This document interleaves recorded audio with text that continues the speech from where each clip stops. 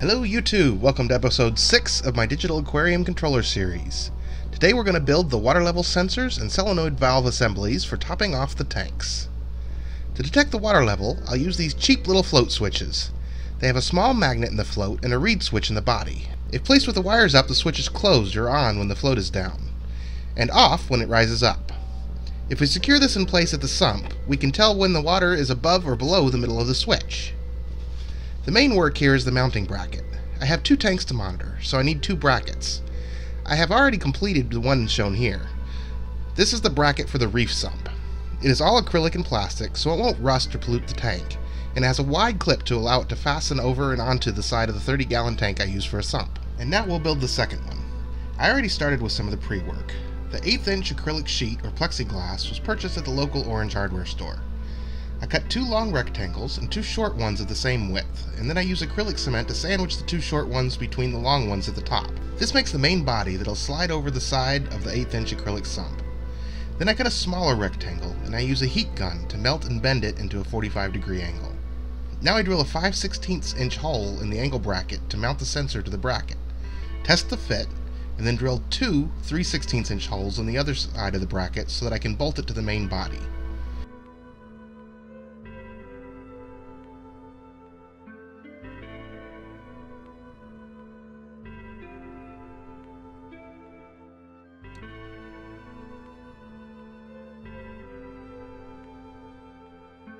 Now I use the existing hole as a guide and drill matching holes in several places up the main body.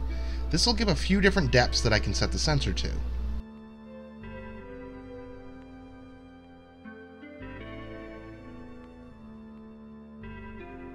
Finally, I drill a larger hole up in the top to feed the wires through. Now, remove the plastic film and assemble the fixture. First, mount the sensor in the bracket. Feed the locking nut down the wires and tighten it in place.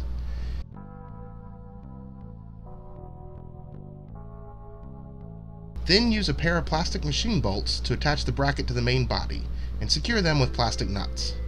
Finally, feed the wires up through the hole in the top, and the sensor is ready to be wired in.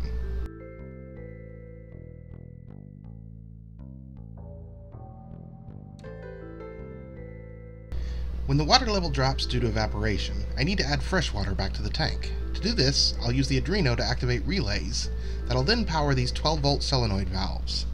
The valves are normally closed, so when the power is off, water will not flow. This way, I can meter out how much I add each day and set a maximum. I want to mount these to the back of the stand, so I use a piece of quarter inch plywood to make a mounting base. The layout's not essential, but I want it to look nice. I'll make this bracket about 6 inches wide. I make marks to place the valves in the center with an inch between them. The hollow feet of each valve are made to accept a screw for mounting, and they form a 1 inch square.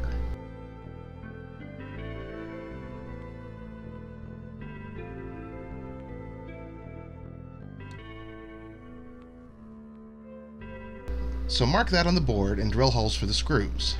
Test the placement. It looks good. Let's get cutting. Off camera, I trim the board to length on the table saw. Now I use an 8th inch bit to drill the mounting holes for the valves and for the bracket itself. Later, I add a few more holes for the cable ties to secure the wiring to the mount.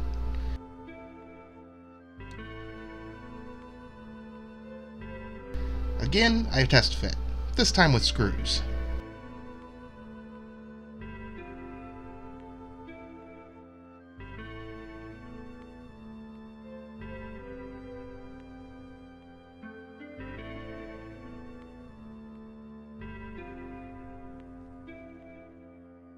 This works. I just need a bit of sanding and some paint. Cat5 cable has enough wires for both float switches and valves, so to make the cabling easier, I'll terminate it at the bracket and make a connection point for the extension wires for the float switches. So I need to solder up some pin headers. First, I measure and cut a small piece of strip board.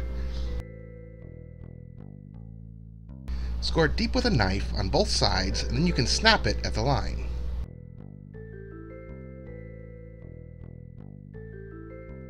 Now I cut a length of Cat5 to connect the controller to these devices. I cut back about 8 inches of sheathing, separate the wires, and strip the insulation off the ends. Each of the four pairs will go to a different device. I use a bit of blue tack, mine's white, to stick the pin headers in place and to solder them up.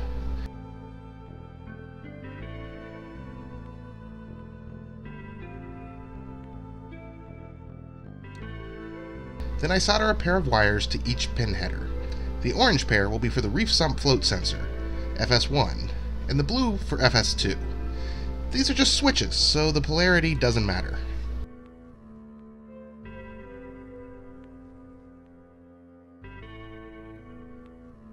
Now, for insulation, I take two small sections of wide heat shrink tubing and cut notches in it for the pin headers. Then I slide it in place and shrink it down with a heat gun. This is okay, but I'll probably paint on a bit of liquid electrical tape also.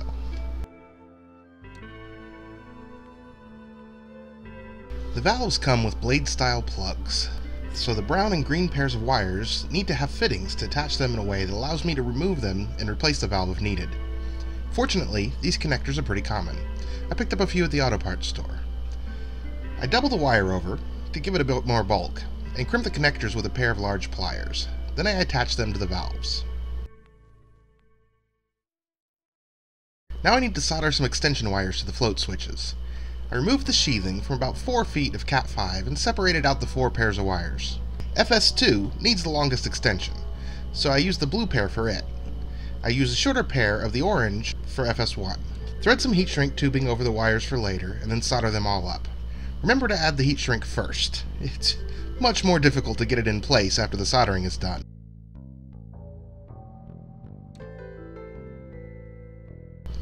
With these extensions in place, I'll add a 2-pin female connector to the end of each, as shown back in episode 3, and these float switches are ready for action. Now that the soldering is done, and the paint is dry, it's time for us to mount it all up.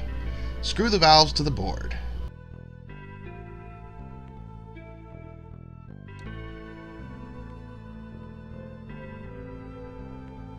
Then adjust the wires so everything fits well and won't get snagged. I use a zip tie to attach the pin header to the right side of the board and another to secure the Cat 5 at the left. To supply the water, I'll be using quarter inch outer diameter polyethylene tubing from my RO system and push-in fittings. I'll use a T-adapter to feed both of these valves from one line, so I need to cut some small sections and connect the valves to the T. The line cuts easy with snips, just take care to have a clean edge and do not mar the outside. Then push it into the fitting and apply the little clip to hold it secure. Now to test. I wire it to a breadboard and 12 volt power. You could use it like this without a controller. Each float is in series with one of the valves, power, switch, valve, then ground. So when the switch is on, the valve is open. Off is closed. With the switches in the air like this, it's behaving as if the water was low, and the water turns on that way. To simulate higher water, I lift the float and the water shuts off. Working as expected. The last step, having successfully tested on the breadboard, was to add Molex connectors to the end of the cable and label everything. This is ready to go now. I hope you found this useful. If you like this, please click like and subscribe to see more, and until next time, thanks for watching.